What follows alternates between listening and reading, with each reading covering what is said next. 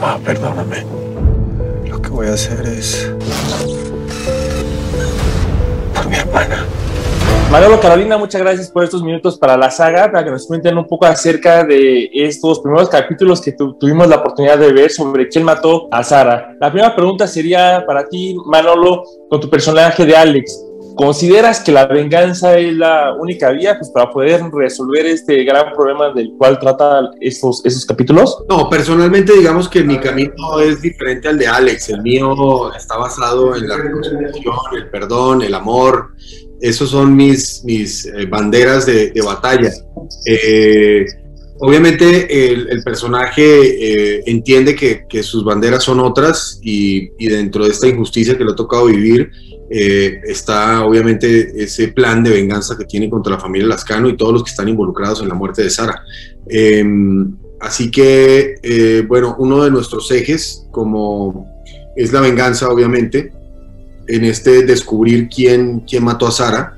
Y, la verdad es que es un, es un thriller de misterio espectacular. Está llena de suspenso, una serie muy interesante, muy bien escrita, muy bien actuada, bien dirigida y, yo estoy muy orgulloso de ser parte de esta serie.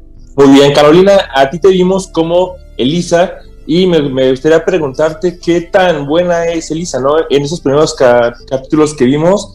Bueno, en los primeros capítulos la van a poder ver como una Elisa muy buena, que siempre busca la justicia, que busca la verdad, que, que intenta desmenuzar todo lo que está pasando con su familia, porque de pronto ella cree conocerlos, regresa de Chicago de estudiar neuropsiquiatría y se da cuenta que su familia realmente no es así y que, y que tiene muchos secretos alrededor, entonces, bueno, va a empezar a buscar la justicia. Ok, Manolo, eh, Alex buscará el castigo para todos los integrantes de esta familia o en el paso de los capítulos se irá directamente contra uno en particular. Bueno, eso tienen que descubrirlo en la serie, pero básicamente él va detrás de todos los que tuvieron que ver con la muerte de Sara él va a llegar hasta las últimas consecuencias por saber quién fue el que mató a Sara y por qué.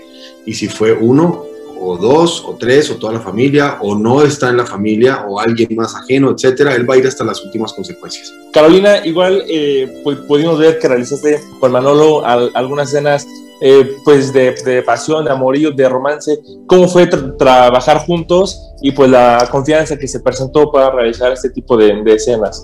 No, la verdad es que fue espectacular porque fueron mis primeros desnudos, entre comillas, que se podría decir a cuadro. Y no puedo estar más agradecida que me haya tocado hacerlo con Manolo. Es aparte de un gran actor, es un gran ser humano que me cuidó en todo momento, que me dio esta confianza y esta seguridad de saber que todo iba a salir muy bien.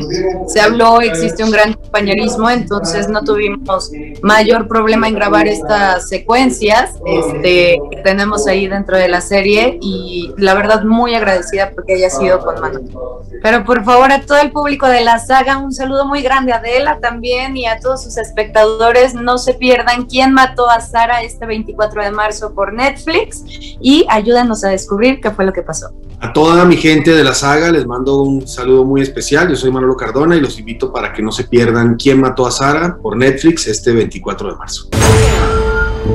Este mensaje es para la familia Lascano. Ya no soy el mismo pendejo que mandaron a la cárcel hace 18 años. Ahora les toca pagar a ustedes.